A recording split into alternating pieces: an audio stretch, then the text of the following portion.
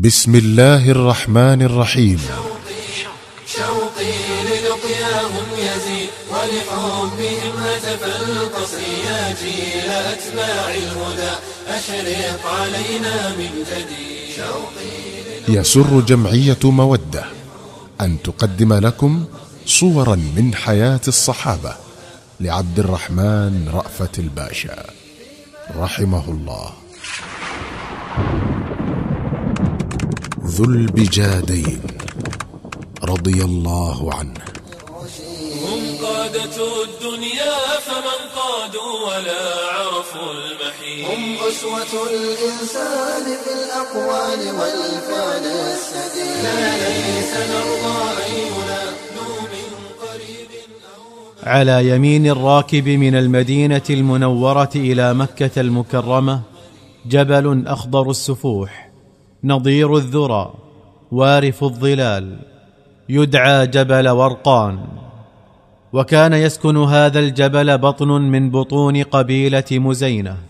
في شعب من شعاب ذلك الجبل القريب من يثرب ولد عبد العزى ابن عبد نهم المزني لأبوين فقيرين. وقد كان ميلاده قبيل مطلع النور في مكة المكرمة بزمن يسير. غير أن يد المنون ما لبثت أن اخترمت والد الطفل المزني وهو لم يدرج بعد فتحالف عليه اليتم والفقر. لكنه كان للطفل اليتيم الفقير عم على حظ كبير من وفرة الغنى وبسطة العيش.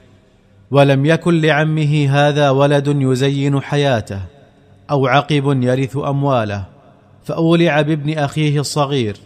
وأنزله من نفسه وماله منزلة الولد من أبيه.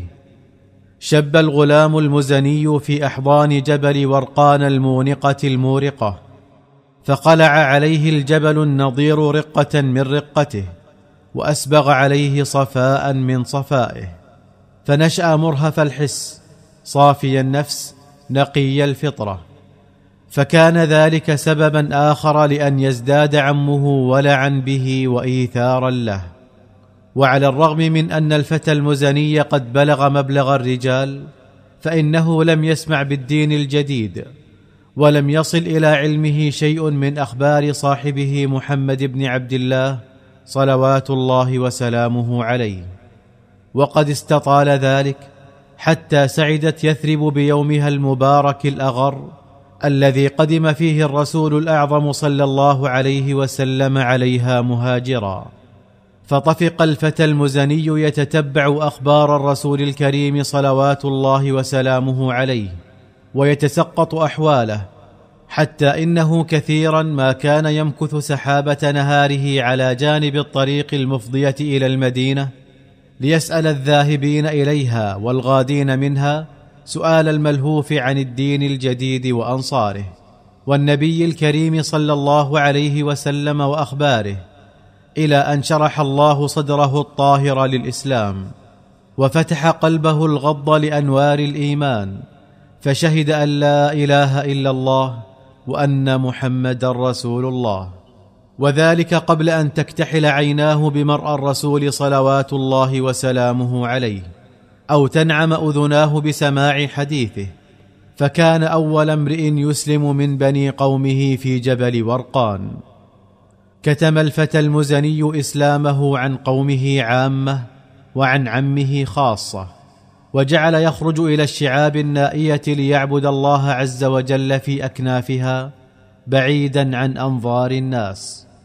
وكان يترقب بلهفة وشوق اليوم الذي يسلم فيه عمه ليتمكن من إعلان إسلامه وليمضي بصحبته إلى الرسول صلوات الله وسلامه عليه بعد أن غدا الشوق إلى لقاء النبي صلى الله عليه وسلم يملك عليه قلبه ويشغل منه لبه.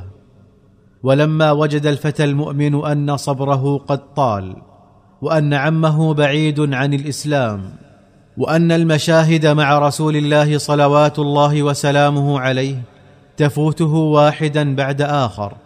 حزم أمره غير غافل عن عواقب ما أقدم عليه وأقبل على عمه وقال يا عم لقد انتظرت إسلامك طويلا حتى نفد صبري.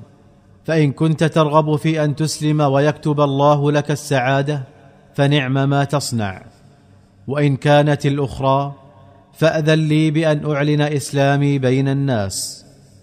ما كادت كلمات الفتى تلامس أذني عمه حتى استشاط غضبا وقال أقسم باللات والعزى لئن أسلمت لأنزعن من يدك كل شيء كنت أعطيته لك ولأسلمنك للفاقة ولأتركنك فريسة للعوز والجوع فلم يحرك هذا التهديد في الغلام المؤمن ساكنا ولم يفتت من عزمه شيئا. فاستعان عمه عليه بقومه فهبوا يرهبونه ويرغبونه وطفقوا يهددونه ويتوعدونه فكان يقول لهم افعلوا ما شئتم فأنا والله متبع محمدا وتارك عبادة الأحجار ومنصرف إلى عبادة الواحد القهار وليكن منكم ومن عمي ما يكون. فما كان من عمه إلا أن جرده من كل ما أعطاه وقطع عنه رفده وحرمه من جدواه ولم يترك له غير بجاد يستر به جسده. مضى الفتى المزني مهاجرا بدينه إلى الله ورسوله مخلفا وراءه مغاني الطفولة ومراتع الصبا معرضا عما في يد عمه من الثراء والنعمة راغبا فيما عند الله من الأجر والمثوبة وجعل يحث الخطى نحو المدينة تحدوه إليها أشواق باتت تفري فؤاده فريا. فلما غدا قريبا من يثرب شق بجاده شقين فاتزر بأحدهما وارتدى بالآخر. ثم مضى إلى مسجد الرسول صلوات الله وسلامه عليه وبات فيه ليلته تلك. فلما انبلج الفجر وقف قريبا من باب حجرة النبي عليه الصلاة والسلام وجعل يترقب في لهفة وشوق طلعة الرسول الأعظم صلى الله عليه وسلم من حجرته. فما إن وقع بصره عليه حتى تهللت على خديه دموع الفرح وشعر كأن قلبه يريد أن يقفز من بين جنبيه لتحيته والسلام عليه. ولما قضيت الصلاة قام النبي الكريم صلى الله عليه وسلم على عادته يتصفح وجوه الناس فنظر إلى الفتى المزني وقال ممن أنت يا فتى؟ فانتسب له فقال له ما اسمك؟ فقال عبد العزى. فقال له بل عبد الله. ثم دنا منه وقال انزل قريبا منا. وكن في جملة أضيافنا. فصار الناس منذ ذلك اليوم ينادونه عبد الله. ولقبه الصحابة الكرام بذي البجادين بعد أن رأوا بجاديه ووقفوا على قصته. فعرف في التاريخ أكثر ما عرف بهذا اللقب.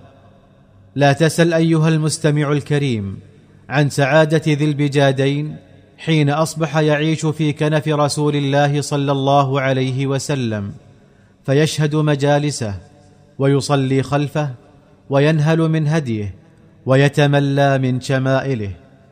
لقد نادته الدنيا فأصم أذنيه عن سماع أصواتها وأقبل على الآخرة يطلبها من كل سبيل. لقد طلبها بالدعاء الذي كان يجأر به في خشية وخشوع. حتى سماه الصحابة الأواه وطلبها بالقرآن فكان لا يفتأ يعطر بشذا آياته البينات أرجاء مسجد رسول الله صلى الله عليه وسلم. وطلبها بالجهاد فكانت لا تفوته غزوة غزاها رسول الله صلى الله عليه وسلم. وفي غزوة تبوك سأل ذو البجادين الرسول صلوات الله وسلامه عليه أن يدعو له بالشهادة فدعا له بأن يعصم دمه من سيوف الكفار فقال له بأبي أنت وأمي يا رسول الله ما هذا أردت؟ فقال له عليه الصلاة والسلام إذا خرجت غازيا في سبيل الله فمرضت فمت فأنت شهيد وإذا جمحت بك دابتك فسقطت فقتلت فأنت شهيد. لم يمض على هذا الحديث غير يوم وليلة حتى حم الفتى المزني ومات. لقد مات مهاجرا إلى الله مجاهدا في سبيل الله بعيدا عن الأهل والعشير غريبا عن الوطن والدار فعوضه الله عن ذلك كله خير العوض. فلقد خط له الصحابة الكرام قبره بسواعدهم الطاهرة ونزل في قبره الرسول الكريم صلى الله عليه وسلم بنفسه وسواه له بيديه الشريفتين ولقد دلاه إلى القبر الشيخان أبو بكر وعمر حيث قال لهما الرسول صلوات الله وسلامه عليه قربا إلي أخاكما فأنزلاه إليه فتناوله منهما وأسكنه في لحده. وكان عبد الله بن مسعود واقفا يشهد ذلك كله. فقال ليتني كنت صاحب هذه الحفرة. والله وددت لو كنت مكانه وقد أسلمت قبله بخمس عشرة سنة. لقد نادت الدنيا ذا البجادين فأصم أذنيه عن سماع صوتها. وأقبل على الآخرة يطلبها من كل سبيل. بمحمد وبصحبه قد أسس الصرح المشيد يا شعر أسعفني أفض في مدحهم هل من مزيد؟ سلة الإيمان والتقوى أولو الأمر